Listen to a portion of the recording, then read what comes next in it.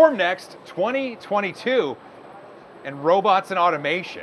I'm here with my buddy Pat. We're at the Stratasys booth, and somehow we're inside the cage. We We're inside the Thunderdome. We finagled our way in here. Pat, what is this?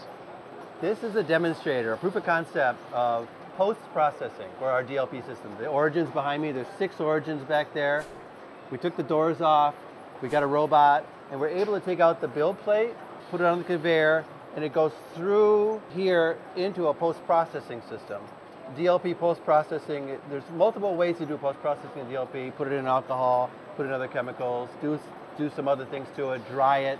So that's what's shown here on my left. We're able to automatically put those through the processes, come out the other end. We created a closed loop here, so the parts come back and go in that bin there. But in real life, on the other end, it would come out of the post-processing and go into a factory. If this is in front of a factory, if this is in a service bureau, it might go into a sorting and bagging system. That's the idea. Well, and it sounds like with uh, post processing of DLPs from the machines, like you said, uh, an alcohol bath or the chemicals, whatever. It's all, this feels like. Um, Remember the days of film and film cameras, and you'd send Yes. it away, and they would have an automated system to develop the film and then produce the pictures, and that's that's kind of what you're doing here. Kind of what we're doing That's here, yeah. But just in three dimensions. in three dimensions. And so as we get ready for manufacturing, we need more automation. We can print a lot of parts and origins. Now we need to work on what's the next step of the post-processing. That's what we're that's what we're demonstrating Oh, here. I That's the see. step. I see. So the automation, as far as starting the prints and getting those done, that's a problem that has been solved for quite a while. Correct. That's in place. So now that robotic arm, that's sort of the first part of the secret sauce, right? That Correct. robotic arm is what's going to go in there and take out that build plate from each of the machines. And so put the- a new one back in. Oh, and then put a new one back Sure, in. you okay. oh, start no, over 'cause again. This is like lights out automation, right? Correct. So it's going to put one here. Imagine it's putting one here, and these parts are now coming into the post-processing. Over here, you see it dipping into the post-processing behind I do me. see that. Yeah, that so arm it's going, in. through the process. Let's say it's doing an alcohol bath, it's drying, whatever it's doing, and at the other end of that process, now it's got finished parts at the other end of the process behind me. For our origin, we have an open resin strategy. Oh, you do? So Okay. we work with Covestro, Henkel, BASF.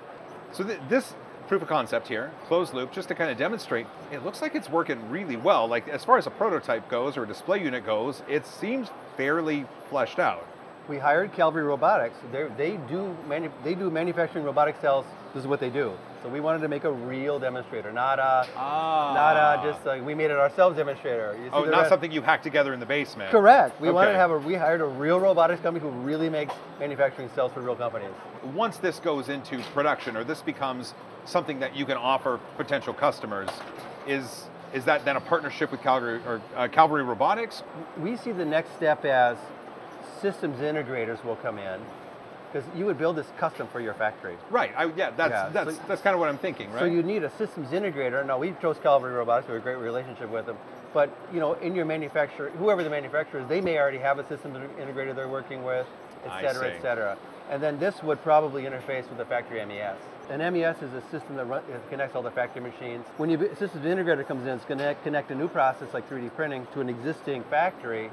You would need a systems integrator to do that, and that's why we picked a, we picked a real one that we know that does a lot of robotics. We picked a real one to say let's do a real proof of concept. That makes sense. Is this is this level of automation something that others are doing, or is this is this a, a brand new thing, or I- is it's- I think it's brand new. We're, the technologies are just getting there. The printing technology is just getting there. So they're creating the problem.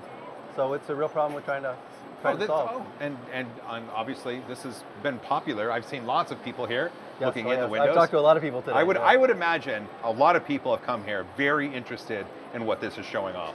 I don't know about you, robots make me happy. Yeah, same here. Like seeing robot, like watching the movie Wall-E, that made me happy. You asking to come in here and me being allowed to be in here made me happy. Did it really? Yeah, thank you. Because before I would never get in here, to be honest. Caution. Rogue robots. Well, Pat, there's going to be a lot of questions about this because now people, not just at the show, but my audience is going to get a peek into this world. And I would love it if you could look at the camera and just let everybody know where they could go to find out more information about this sort of thing. That's a good question. You don't know? I don't know. Based on the feedback, we will be providing more Ah, information. I okay. don't think we had a. We let's, let's do this and see what happens, kind of thing. That's- oh, really? It was that well, level that's of. what Stratasys does a lot. You know, we've had demonstrators. We had the giant robotic arm. Mm-hmm. We had uh, ones that stacked up printers that spit out parts. Spit out parts. So a lot of these never became products. Well, I guess Stratasys may have this online at some point. Um, I, if I find it, or if I get a note from you telling me it's active, I'll put a link down in the description. Perfect. Um, we also mentioned Calvary Robotics, right? They're the ones that built this. I think it'd be fair if we put a link down in the description for them as well. Absolutely. All right. Well, this is Pat, and I had a great time. Thank you. Dude, thanks for bringing me in here, Yeah, man. no problem. Thank you. Uh, I hope you have a good rest of Formnext. Be, be careful on the way out. Don't get caught by a robot. Yeah, don't die by robot, not Yeah. today.